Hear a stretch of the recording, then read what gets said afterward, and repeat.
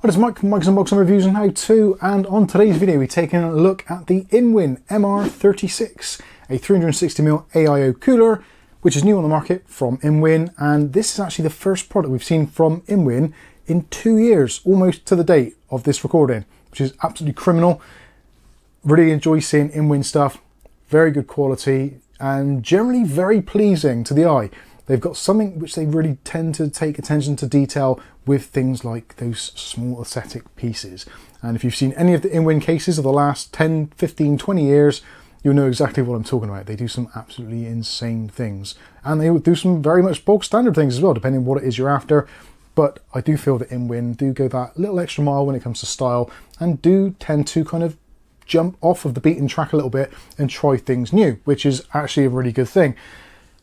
With this, they've not really tried anything new. What they've done is taken an amalgamation of all the things which we know in the industry that just really work well and work really nicely together and put it into a rather cost effective package. Now, at the moment, at the time of recording, the estimated street price on this is somewhere in the region of about 120 euros. I'm not entirely sure what the UK price is, still waiting for stockists to actually have these available. So this is very, very new on the market. As soon as there's some updated pricing or availability, I'll put some links in the video description so you can check out for yourselves. There will be links, however, for InWin's site directly, so you can go in there and check out. They also have links to other stockists and they have their own e-store as well. So if you're in certain regions, then you may find it actually cheaper to buy from InWin than to actually buy it from a normal retail store, which is excellent. So that's enough waffle, let's get on. We've got three segments to do in this video. So the first bit is going to be the unboxing. The second part is going to be the installation and obviously the third bit is going to be the testing and the final conclusion or whether or not it's actually worth you spending your money on this piece of hardware. So let's get straight in and do the unboxing and see what it's all about. So as you can see, this is the MR36 liquid cooling kit. As you can see, 360mm radiator. You've got an illuminated pump housing as well, although it's not technically not a pump housing, but people will know it as that. So that is effectively your block. The actual pump on this has actually been moved away from the CPU and actually into the radiator, which has a few benefits, one of which being noise and also heat, because obviously a pump is a moving part, it's an electrical part, so it does generate its own heat, which is something else which the actual housing has to try and dissipate somehow. Whereas if it's in the radiator, it's basically being dissipated straight at the top of the case or wherever you've got your radiator placed. So it's better to have it there than actually on your CPU. I should also mention there's a couple of versions of this available. There is the MR36, which is the one we've got here, 360mm. There's also an MR24 as well, which is a 240mm. So if your PC case isn't quite large enough to facilitate one of these, then there is a slightly smaller version. I have something else as well, the fans on this, they're using the Neptune AN120s.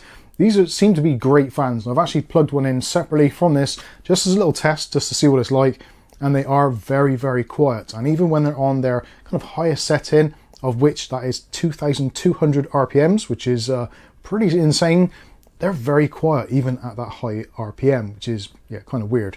Something which I find very odd about the fans is the fact that their PWM range is very unusual indeed.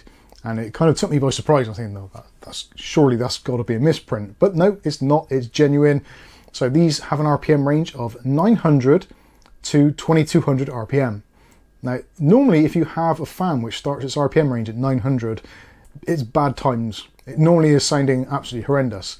But with this, with their new blade design, it actually is silent at 900 RPM, which is kind of weird. Noctua, you better be watching this because yeah, this is uh, some pretty special stuff. So changed all the design of the blades. We'll take a look at that a little bit later. So yeah, you get the basic idea of what it's all about. Uh, you do get a three-year warranty with this one, just in case I uh, forget to mention it later on. Just so I looked at the number three and I thought, yes, three-year warranty.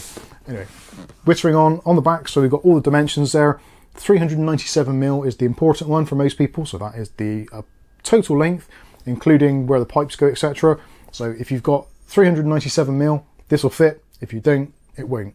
Don't think just because your system holds three 120mm fans that automatically it will take a 360mm rad. That isn't the case. So do make your measurements. So 379mm is what you want to be looking for in your case or more if possible to give you that little bit of wiggle room. There's the specifications and also what it fits. So this fits pretty much most sockets on the market which are currently available.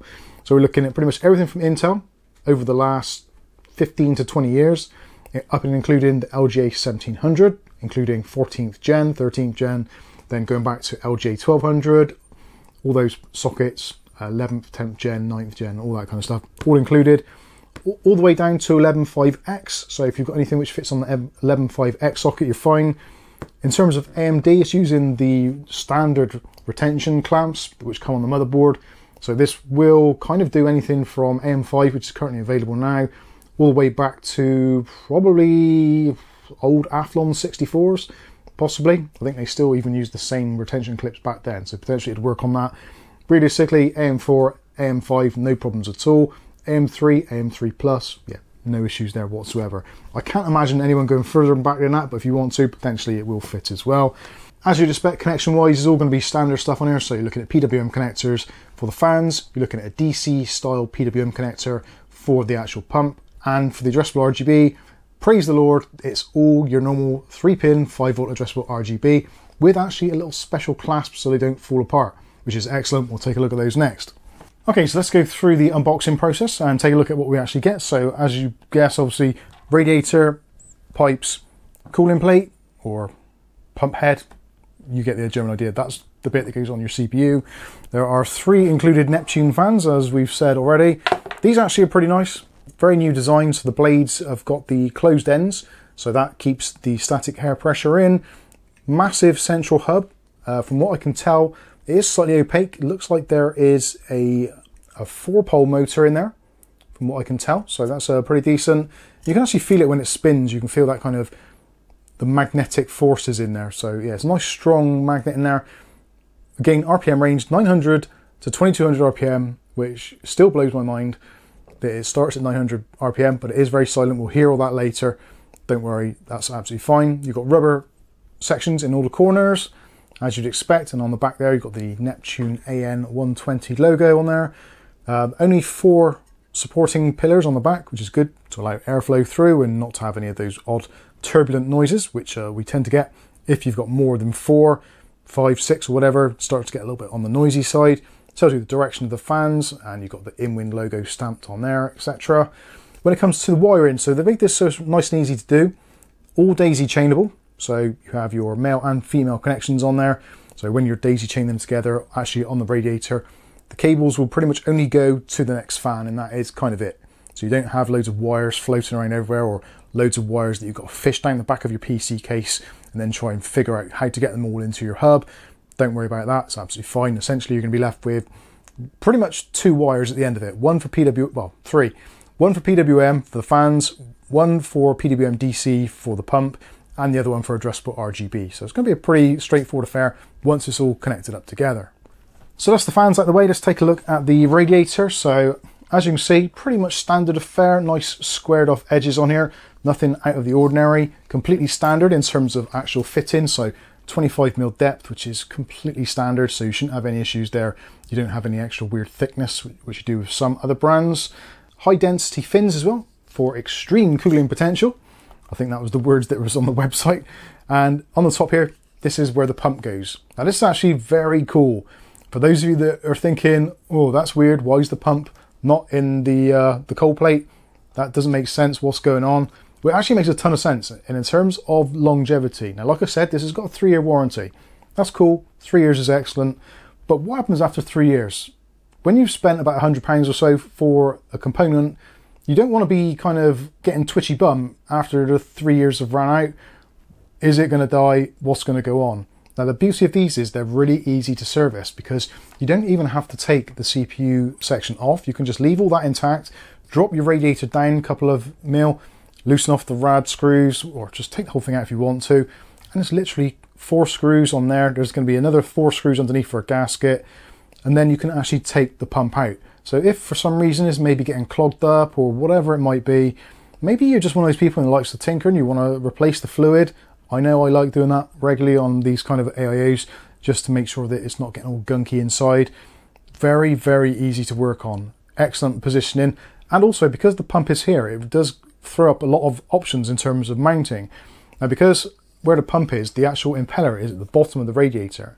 So in terms of air, even if like half of this radiator is full of air at the top, it's still going to be getting the water from the bottom. So that is absolutely fine. And you can see it does go right down to the bottom. Something else I should mention as well. So some of you are probably thinking, well, that's dumb because that's blocking airflow. Well, it isn't because as we've seen, there's a massive central hub on these fans which goes directly over the top of there. So you're not actually gaining or losing anything in that section because that's blocked off anyway. And the fan has got a hub there, so there's no airflow going through it. So you're going to get the natural cooling effect from the fans surrounding it. But yeah, it isn't a problem, nothing to be concerned about. Also, again, because of the location of it, basically silent because it's not going to be pumping loads of bubbles around very, very low noise. RPM range on this up to 4200 RPM. Did some little testing on this a little bit earlier, just fired it up on the system just to see what the RPM range was like. And yep, no problems at all. That was what we were looking at, around about 4200. Uh, went down to basically zero. So you can tailor this down to zero, which is probably avoid, worth avoiding. You don't want your pump to stop. Whereas alternatively on the other side, the fans actually would not go down lower than 900 RPM. So it would have been nice for the PWM chips to have been maybe swapped around. Maybe take the PWM chip out of this, put it in the fan so they can go to 0 dB, and maybe put the uh, 900 RPM in here so that is a failsafe rather than being able to basically stop, which is something you don't really want from a radiator. But anyway, that is by the by. Just make sure you set it up in your BIOS, set the pump to 100%, no problems, it isn't going to get uh, burnt out any quicker it's just going to be a constant flow going through the whole system. That is absolutely fine. And in fact, it's the rotational thing being strained by slowing down and speeding up, which actually wears out the motor quicker. So set it to 100%, you're not going to hear it, it's going to be absolutely fine. A three pin connector on there, so three pin DC goes into AIO header on the motherboard or a PWM header. Just make sure you set it in the BIOS to DC rather than PWM and you'll be absolutely fine. The pipes themselves are very nice and flexible, so uh, yeah, no kinking to the pipes, so you can pretty much do what you like with those. Also, the actual pump head, or the cooling plate, or whatever you want to call it, uh, very slim. So even if you're using a slightly smaller system, isn't going to be a problem. Sometimes you get these and they've got these crazy big extrusions on them, but yeah, this is fine. Actually quite a nice looking thing. You've got like a knurled finish around the outside edge. This rotates as well, so there is an illumination on there underneath there, which uh, you can choose to turn on or not. If you don't like RGB, just leave it off, it's absolutely fine. You don't have to connect it up even and have it just completely blanked out.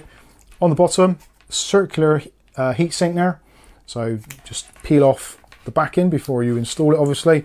And something else which is nice, which I'm just looking on now, if for some reason you have to do any maintenance this in the future, all of the screws on there are just normal screws, like hexagonal ones. There's no security screws, so if you do have to take it apart because there's gunk in there, or you just want to do routine maintenance, flush the system out, then you can take that cold plate off very easily. The cold plate has actually been redesigned as well by InWin. They've put some uh, some new extrusions on there, um, basically like micro fine channels, so loads and loads of surface area. So in theory, it should do extremely well. Like I've said before, the only cable actually coming off of this section is your addressable RGB one. So that just plugs into your motherboard. You've also got a pass-through with those little locking connectors as well, which is uh, very nice indeed. So it means they're not going to accidentally get separated in the PC and cause some sort of short circuit. So yeah, overall I think that is a great design. There is also as well a bleed stroke fill port there and there isn't a sticker over it saying void if removed. So if you want to uh, bleed the radiator or top up the fluid at some point, you can do so without voiding your warranty, which is awesome. So we've got some very cool stuff there. Let's take a look at the actual mounting hardware and see if it's going to be a, an absolute nightmare or going to be easy to install. Now we'll start off with AM4 stuff, AM5, because that is going to be the easiest of the lot. So we have all these brackets here, basically that is all you need for AM4 and this bit here. That's kind of it for securing the pump to it's not even a pump, securing the cold plate to the AM4 setup. So I'll give you some close-ups of that so you can see what that's all about. But essentially, when it comes to actually sticking on the brackets, pretty straightforward thing to do. So there is like a little lug, like a horseshoe shape on there.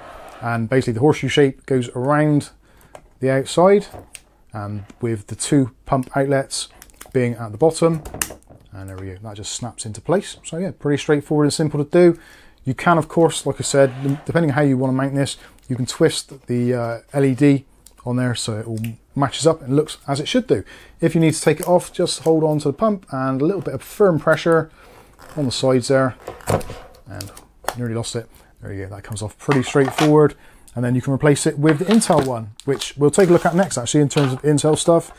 So there is the horseshoe bracket. This is universal for kind of every single Intel socket, whether it is uh, 115X or the latest and greatest LGA 1700. I think with these as well, because of the way they're designed, if there is any dramatic changes in any of the socket layouts from AMD or Intel going forward, then I think this will be relatively easy to adapt. From what we know already, the next iteration of the Intel processors, uh, which is going to be for 15th gen, is going to be a new socket, but it does seem that it's going to be using LGA 1700 style cooling. So yeah, this is going to have a, a lot of longevity. Obviously AM5's just come out and Intel wise, you're going to be good for at least another, I would guess, five years or so. Anyway, so that is for Intel. Also, when it comes to Intel, you've got some mounting brackets to go on the back. So there's one for your LGA 1200 and below, and then you've got another one which is for your LGA 1700. Uh, that'll be the 1700, I think. It is printed on there, tells you which ones they are. So yeah, just have a closer look onto there, and you can see exactly what they are. You're probably seeing those from the close-ups I filmed a little bit earlier. Uh, when it comes to the actual mountings, again, very straightforward. You've got one set of mountings, so that is for the fans and attaching the radiator into your case. Very easy to do, so that's for that bag. And all the others are clearly labelled up. So you've got that one there. So that is hard to see. LGA 1700, like I said, clear to read. It is actually clear to read unless you have stupid studio lights, in which case it makes things a little bit more difficult. So this LGA 1700, this one I think is going to be LGA, that is LGA 2011 and 2066. And that one is going to be the last one, so that's going to be the LGA 1200 and the 115X. So pretty much all covered there. Very straightforward, really, if you think about it. It's not a great deal here, which is going to be kind of leftover, depending on obviously which socket you go for. So it's nice to see they haven't wasted a lot of stuff.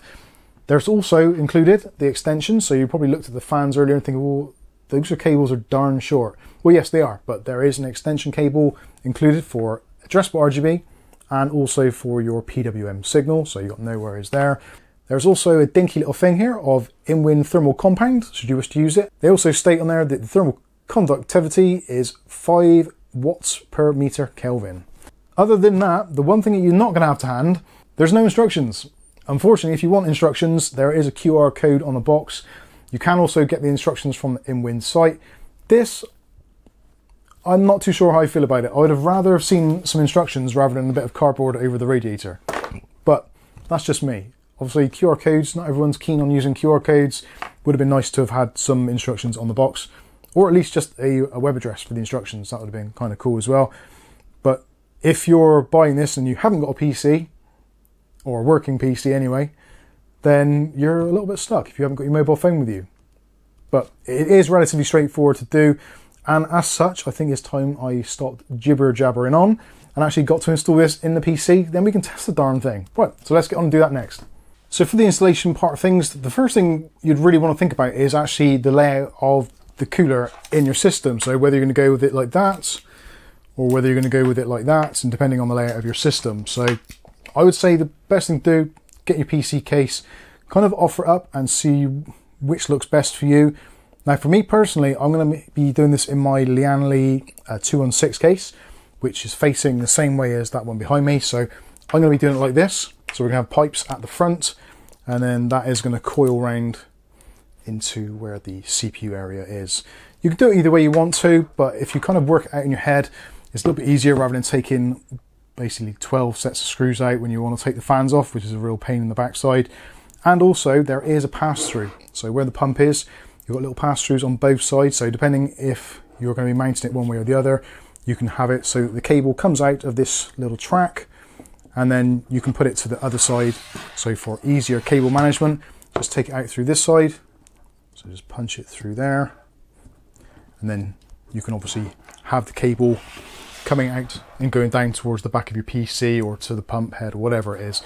Basically just making it so that the cable comes out the right side rather than it being stuck here and then you install it and then having to kind of route the cable on the outside which looks a little bit ugly. So it's nice that they're giving you the option there of uh, routing it through either side. So now we know which way we're going to be orientating this, we can now install the fans. Okay, so here is the fans in position. So make sure that you're on the right side. So this is our outlet, the pump, and put the fans on the top of the radiator, lay them out in position. You'll notice with these pass-through cables, so if I disconnect these in a minute, you can see what it's all about. So you've got your first cables there. If you're not too sure which way you're going to be going with the wiring, the easiest way of working it out is to take the two extension cables, which are here at the end. So disconnect those. So you can see these are the ends which are going to be connecting to your motherboard. So that is your 5 volt addressable RGB header and also your PWM for your fans or CPU fans. So those, if you grab the other end of the cable, that's the ones you're going to be using first of all. So go to the very last fan on the chain and then because you've got a female socket there from your PC you're going to want to be obviously putting a male plug in and that goes then all the way back. So that's going to leave you with a female connection. So you just plug in the next male from the next fan along etc etc all the way along. So the last one on there is going to be another male into the female socket. And then this leaves you with the last one on the chain and also the ARGB with the pins covered, which is what you want to have. Going back to what I was saying earlier about the, uh, the clasp connection, so you can just about see on there, there is a very, very tiny little ridge. And on these connections, you can see there's a little lever. And all you do is put them together. And you hear them snap together nicely. And a little bit of a tug and they don't want to come apart. So that is going to hold them in place. So that's excellent. So that is pretty much it. So we've got our three pin DC, which is going to go to our AIO or uh, pump head on the motherboard. And then on the other end of this daisy chain, we've now got our PWM and our addressable RGB. So that's just three connections. It looks a little bit more complicated, and actually I haven't connected this one up, so let's connect up the last one in the chain. So there we are. There is the pins there. Snap them together. And you should hear a little bit of a click. Didn't on that one, but it is firmly held together. So yeah, excellent stuff. So that is really straightforward. The next thing to do is to get the horseshoe, which is this bit here. Now we're going to be doing this on an Intel system. We're using our 13900K. So we're basically going to slot this over the top. Now you'll see actually on the side here of the actual pump or pump head or cooling plate or whatever you want to call it, uh, there is a little slot down the side there. So with your pipes at the bottom, as you can see there, what you're going to want to do is to get the, uh, the horseshoe and stick that over the top into those slots and just push it all the way down and it kind of clicks into place and you know it's in place because you won't be able to pull it off easily. The only way you'll get it off is by some uh, additional force. So that is basically it. So now we can get ready and put this actually into the PC. Of course, I've got to put the screws in the fans to hold those in place. That's really straightforward. Pretty much uh, anyone can do that, so I'll do that off camera to speed this up. Okay, so we've uh, taken out the old CPU cooler, which was in here. So that's pretty cool. Nice open space. Now at this point, my suggestion would be because we have got uh, some wires here to uh, deal with, it's probably a good idea to actually route some of them into the right places now. If you've got a case which doesn't allow you a great deal of room at this top section, by the time you've got your radiator and your fans in the top, it's going to be a little bit problematic to get to some of the areas. So at least with this as it is now, uh, it's actually pretty open. So I'm going to get this as close as I can. And I'm going to take my three pin first of all and plug it into the header for the pump. If you're not too sure which header it is, if you look normally underneath, you'll find the PWM controller. And this one, in very, very small writing, says CPU fan on the left and AIO water pump on the right. So we're going to plug this into the four pin header, even though it is only a three pin. We're going to stick that in there anyway, and we can change that in the BIOS later. And the next one is going to be the addressable RGB. So fortunately the addressable RGB we've got just here at the top. So I'm going to go ahead and plug that one in also. There's that one plugged in. If you've got a hub or something on the back, you can always plug it in in the back should you wish to. And the last one is going to be our PWM which is coming off of the fans, which is this one, the 4 pin. So this is going to go into your CPU header. Now the reason we put it into the CPU header, even though it's a radiator, not a CPU fan, is because the CPU header specifically is pretty much always controlled by the temperature which is hitting on your processor. So regardless of what the actual fans are attached to, if you want whatever's cooling to be reactive to the heat of the CPU or the cooling of the CPU, you always plug it into the CPU header, which is in this top section. So that's those plugged in. So now we've got our cables, we can quite easily pull those through after and manage those, but that just for me makes it a little bit easier. And then we can just grab the rest of it and kind of edge it into position.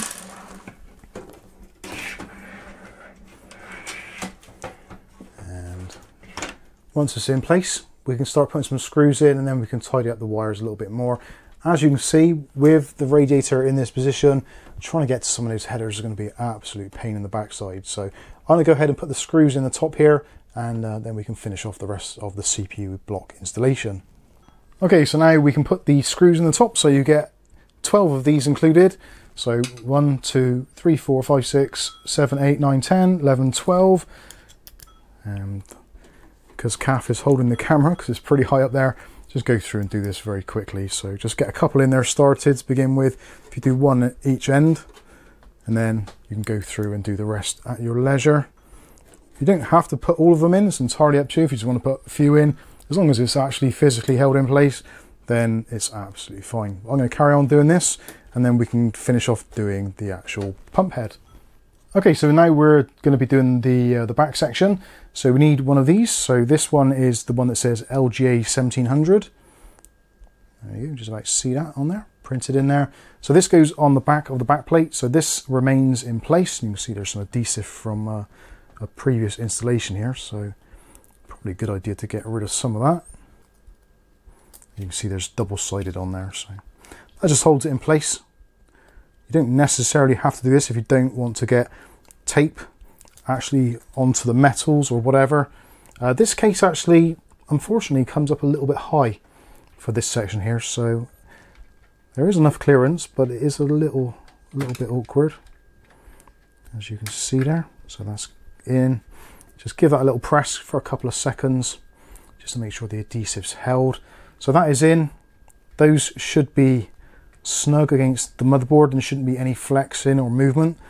So that side is done. So now we can flip it around and take a look at the inside. So now for this side, we need to attach some mounting pillars. So we have a packet here, which says Intel LGA 1700, uh, reasonably clearly on there. If you can't see the screws there, it actually is much clearer. Anyway, so LGA 1700 because that is the socket we're using. And you should find there are four of these. And these just simply screw in to the four holes on the motherboard. So let's go ahead and get those started. Unfortunately, it's difficult to get the camera and my fingers in there at the same time. So I'm literally just turning, tighten those up thumb tight. So you can see that one in there. Let's see if I can get you in a little bit closer. There we go. And now do the bottom two. And just finger and thumb tight, that's all it needs. And the last one is going to be down in this corner. There we go. And if you want to, you can go around after, just to make sure they're in firmly. That's fine. So now we can um, get the processor head or the cooling pump head assembly ready. So what we're going to want to do is to uh, remove this protective film like so. And that's uh, nice and shiny, prepared. You can, of course, if you want to at this point, get some isopropyl alcohol and give that a clean if you're concerned there's any contaminants on there, such as adhesives and all that kind of stuff. Um, I won't be bothering, but obviously if you want to, you can do it. It feels pretty clean and smooth to me. Whilst we're getting this ready, grab hold of this pack here. This is the mounting hardware and we're going to need those four spring-loaded screws. Now is the time to apply some thermal compound. So we're going to put on some MX6. So we've got our thermal paste on there now. So all we need to do is to now put the pump head or the cold plate actually in place. And I'm not too sure if I'm going to do it with the tubes to the side. I think I actually prefer that. So I'm going to stick it on like that. You can hold it in place whilst you're trying to find the screws which you've misplaced from earlier. Okay, so now we've got this in place. we've got our th four thumb screws. Basically what we're going to do is do those three turns at a time until it's fully wound down. Now really you should go opposing sides. So if you start here, then go there, then maybe there, then there. But just basically in some sort of crisscross pattern is absolutely fine. So do three turns, one, two, three. And do the same on the opposing side, one, two, three. I'm going to do it this side, one, two, three. One, two, three. And then just keep on doing that until the, uh, the screws hit some resistance. And when it gets to the very end, it's just a, like a hard stop, so don't over tighten it, that'll be absolutely fine. So then you can put your addressable RGB cable you can wire that through, daisy chain it to the rest of the fans if you want to, plug it into another header, or as I'm going to do in this case, I'm going to plug it into the hub on the back of the Lian Li 216. But that effectively is it. So now we can uh, get this thing fired up, do some testing, and we'll come back with some results. Okay, so we're back and we've done some testing with the InWin MR36 and as you can see, it's uh, now in the PC behind me. This is normally my daily driver, my video editing PC, so I figured I'll just uh, put it on show so you can see what it looks like with this uh, absolutely tremendous cooler installed and it's very easy to install as you've possibly seen if you haven't fast forwarded through the installation section. Even for the Intel setup relatively straightforward to do and I really do like those addressable RGB clips the ones that just clamp together. I think that's a very very nice touch and uh, takes some of that guesswork out of it and also if you maybe stretch the cables a little bit when you're trying to put it inside of your rig there's basically no chance of them coming apart unless you give them a really really strong tug but in normal use they should be absolutely fine Cable management wise, absolutely great, no problems there. And because of the minimal amount of wires, only three wires to connect up. Two ARGB wires, one from the pump head, one from the actual radiator fans themselves, and one for the PWM connection. So wiring is pretty much simplified. In terms of noise profile, actually very quiet indeed. The new pump, which is mounted up in that top radiator, pretty much silent unless you get extremely close up to it and even when it's on the highest revolutions is very difficult to hear. And in fact, the PC at the moment with the side off, you can basically hear nothing. It's kind of silent, so that is excellent. In terms of at full blast, not a great deal of noise. The pitch of the fans is really nice. It isn't very intrusive. You can just hear that whooshing of air going through a radiator, which unfortunately is the nature of the beast. If you force air through any kind of slots or grill, then you are going to have some kind of turbulence and that noise is going to be slightly evident, but it isn't intrusive and certainly seems quieter than a lot of the other AIOs I've tested recently. I would love to get my tester on it and actually give you some decibel ratings, but really because of the room we're in and also the variables it's very hard to control, but trust me, it is very quiet indeed. Other things I liked was the simplicity, the actual tubes coming from the radiator, very flexible and managed to twist around into that location there and I think it looks absolutely great. Now in terms of the performance levels, I've actually tested this with the previous cooler which I had based in the system, left all the settings exactly as they were and this is compared with the Thermaltake TH360 ARGB radiator which is a little bit more expensive here in the UK. So let's take a look at some of the Cinebench results.